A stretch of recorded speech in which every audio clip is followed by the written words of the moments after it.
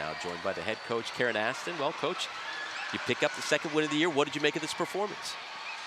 Um, I, I thought that we played kind of how we've been playing, to be honest with you, which is that there's some good moments and some flashes of of good execution and flashes of, of really good things. Um, and then there's just moments where you're just shaking your head, like, what are we doing? And um, what is our intention?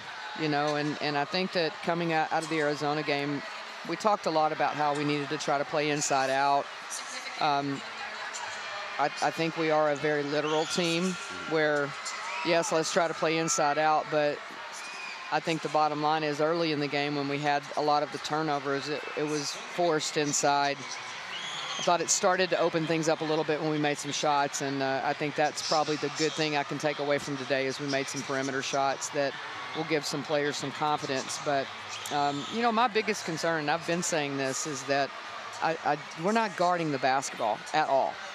And we, we've got to, to shore up um, just basic fundamentals of defending the basketball because there's just too many straight line drives, too many and ones where we're late for help. And so our, our defense has is really a bigger issue to me right now than our offense is. But uh, we have some time, and I, I, think once we get through this stretch after the Thanksgiving holidays and we can really, uh, you know, you have a, a pretty good stretch of time where you can focus on, on some fundamentals and focus on on improving on the things that you've been exposed at in the month of November.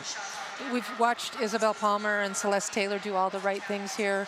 Uh, Isabel Palmer obviously has been out with most of the preseason, but yeah. they come into today's game and finally get the lid off. And, you know, you talk about inconsistency, but they played fairly consistent today. Talk a little bit about what you expect from them and your thoughts on today's game for them. Yeah, I think one thing that you know what you're getting from them is, is effort and they try really hard. I would say, in particular, as freshmen, they're trying really hard to pay attention to the detail.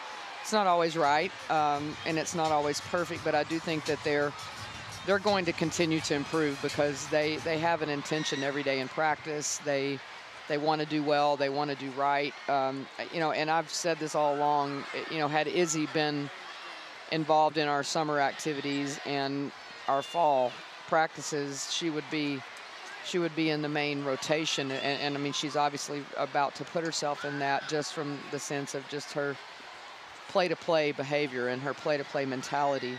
But I also think she gives us a different look offensively. Before we let you go, how did you like having the screaming kids back out here again? Over 5,000 It, it is my most fun day, just right. because it's it's great to see uh, these kids get the exposure to the University of Texas. Uh, our obviously our program and our and women's basketball in general, but also just to be on campus. Uh, I know this is a treat for, for all of those young ones. We appreciate it, Coach. Congratulations Have a good on day. the win.